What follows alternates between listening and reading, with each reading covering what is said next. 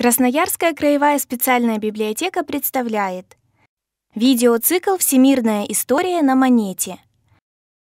Выпуск второй. Луи Брайль. Гений, подаривший незрячим мир. В мире существует много вещей, с которыми человеку приходится иметь дело каждый день. Мы привыкли пользоваться этими вещами машинально. Нам кажется, что мы знаем о них все. Именно так обстоит дело с деньгами.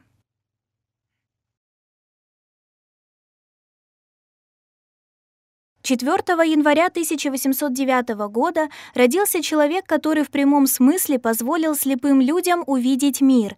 Благодаря его изобретению тысячи людей, потерявших зрение или слепые от рождения, получили возможность развиваться, читать и даже играть музыку по нотам.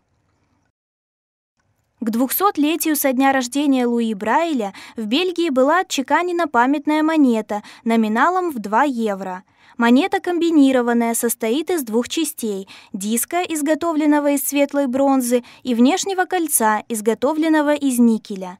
Тираж монеты составил 5 миллионов штук.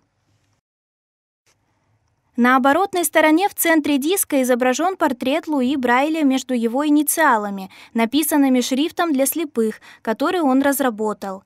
Три точки «Л», две точки «Б», Выше портрета надпись на французском языке «Луи Брайль».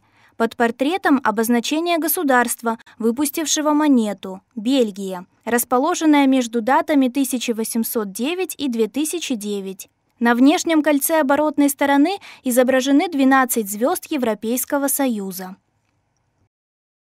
В 1809 году в небольшом французском городке Кувре в семье сапожника, по другим данным Шорника, Симона Рене Брайля родился мальчик, которому судьба уготовила тяжкие испытания и великую славу. Нелепая случайность раз и навсегда лишила ребенка зрения в пятилетнем возрасте. Днями напролет маленький Луи играл с обрезками кожи в мастерской отца и в возрасте трех лет случайно повредил себе глаз шилом. Распространившаяся и на второй глаз инфекция сделала его абсолютно слепым уже к пяти годам. Смирившись с такой жестокой волей судьбы, родители Луи старались сделать все возможное, чтобы мальчик рос и развивался как нормальный человек, не чувствуя себя инвалидом. Они помогли слепому ребенку приобрести трудовые навыки, научили плести бахрому для конской упряжи и шить домашние туфли, пригласили учителя музыки, который обучил его игре на скрипке. Видя успехи незрячего ребенка, деревенский учитель решил, что юному Брайлю необходимо получать специальное образование.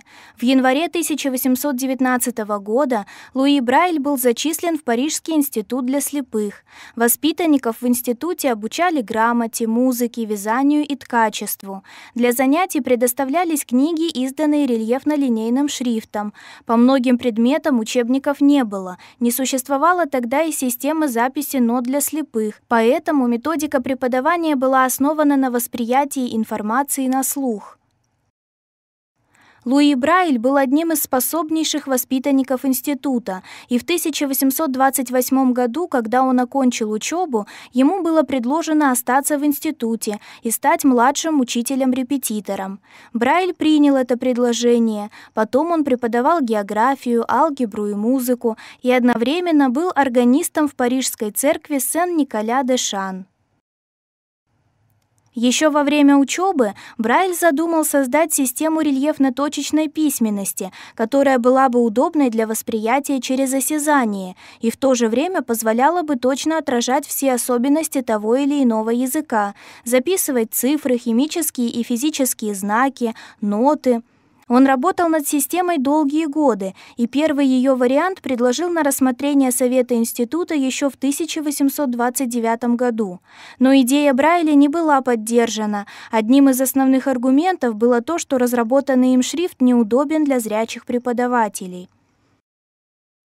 В 1837 году по настоянию слепых Совет института вновь вернулся к рассмотрению вопроса о новой системе письма, пригодной для слепых.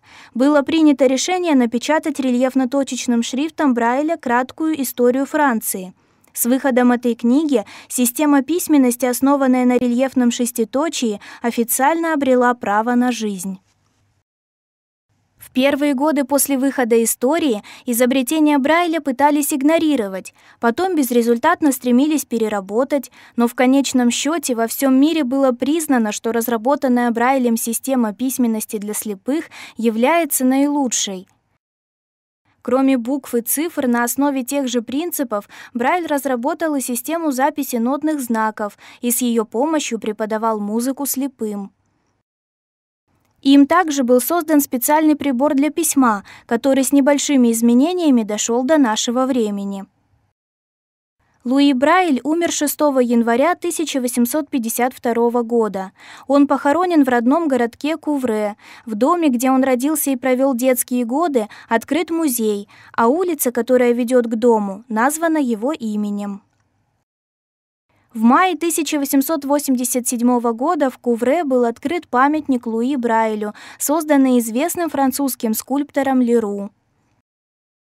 К столетию со дня смерти Брайля в 1952 году прах был торжественно перенесен в Парижский пантеон.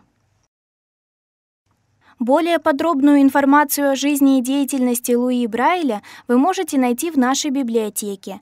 В фонде имеются такие книги, как Марат Бирючков, автор великого шеститочия Луи Брайль, биобиблиографический словарь в плоскопечатном формате, укрупненный шрифт.